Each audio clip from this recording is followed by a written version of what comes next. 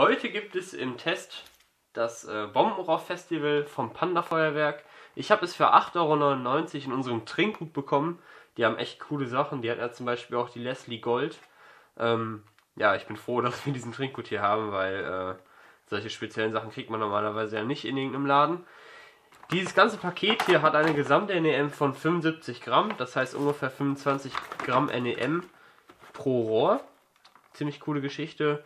Und ja, wir wollen mal gucken, ob das wirklich so ein kleiner Ersatz ist für die Diamond-Bombenrohre. 30 mm Kaliber haben sie, also 20 mm weniger als Diamond. Naja, gut. Ähm, wir werden ja sehen. Auf jeden Fall habe ich gehört, dass sie sehr gut sein sollen. Wir werden es testen und dann sehen wir uns gleich draußen wieder.